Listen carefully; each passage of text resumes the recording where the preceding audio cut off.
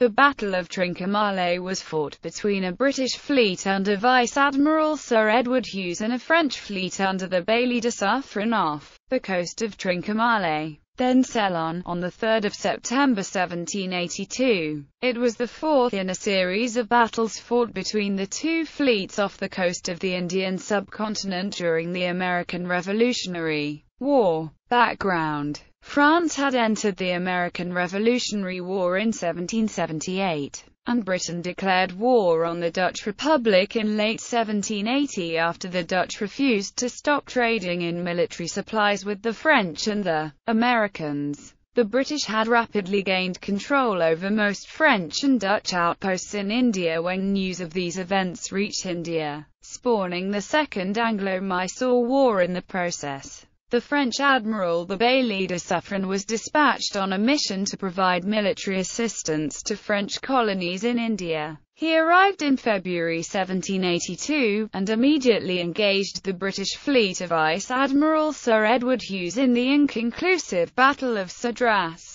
After both fleets spent time in port repairing, refitting, and revictualling, they met again in the April Battle of Providien, south of the Ceylonese port of Trincomalee that was ended by a storm and then nightfall. Hughes put into Trincomalee, a formerly Dutch port the British had captured in January, for repairs, while Suffren went to the Dutch-controlled port of Batticaloa. Suffren and Hughes then met a third time off Negapatam, again with inconclusive results, after which Suffren anchored off Cuddalore to make repairs. Due to the exposed nature of the anchorage at Cuddalore, and the impending arrival of additional British fleets, Suffren decided to attempt the capture of Trincomalee to gain a safe harbour for his fleet where he might effect more substantial repairs to his fleet. Suffren was meeting with Hyder Ali near Cuddalore on 28 July when he learned of the arrival of a French fleet near the southern end of Ceylon.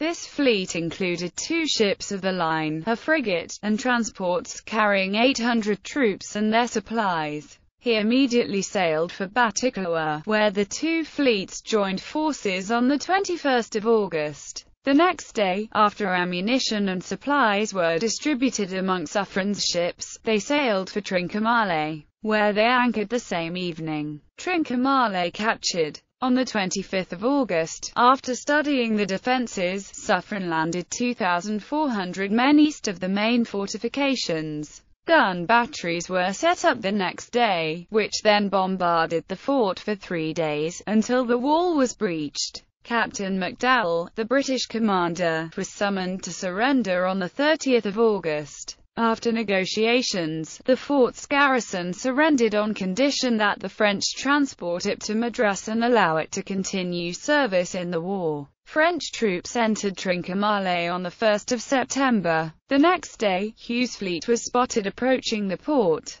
Naval battle Following the battle off Negapatam, Hughes had spent two weeks at sea before putting into Madras for repairs. There he was joined by Ceuta and San Carlos. Notified by one of his scouts that the French were anchored outside Trincomalee, Hughes lifted anchor and made haste to come to the garrison's aid, but arrived one day too late. Suffren, now safe within the harbour, held council with his captains. Some of them, led by his second-in-command, had persistently opposed offensive actions against the British, and vigorously renewed their objections to the need for combat.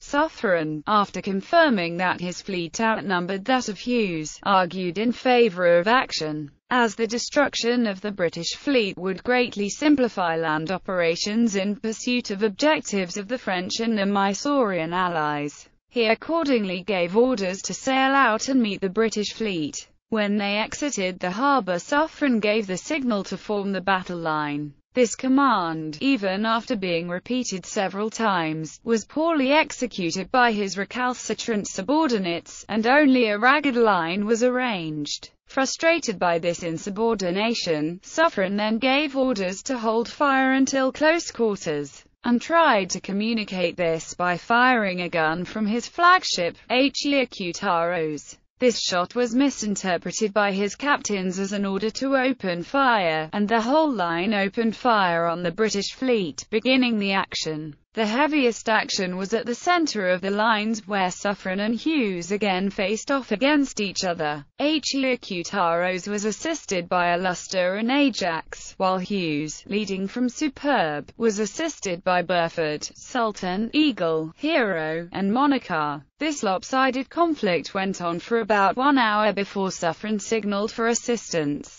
Saint Michel and Annibal, commanded by insubordinate captains, stayed away, while Brillant eventually neared the action, and gave some assistance. Thirty minutes later Ajax was forced to withdraw with heavy damage, and was replaced by Artésien. An hour later the situation became critical when Héro's mainmast came crashing down, and Suffren was forced to scramble to make sure the British did not think that he had struck his colours. He had also run out of ammunition, having fired 1,800 rounds at the British ships, and continued to fire powder alone in an attempt to fool the enemy. Battle on the ends of the line went more in favour of the French. Isis, Worcester, and Monmouth were badly damaged, and Exeter, whose captain was killed in the action, was disabled. At 5.30 p.m., after about three hours of battle, the wind suddenly shifted to the advantage of the French fleet.